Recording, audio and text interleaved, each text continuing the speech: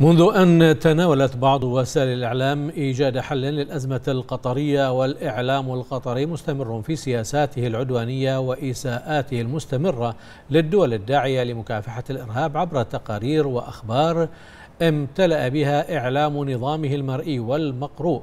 وهو دأب النظام القطري في انتهاج الإساءة والتحريض ضد الدول الخليجية والعربية في تناقض واضح لتصريحات المسؤولين القطريين الداعية إلى تحقيق الوحدة الخليجية.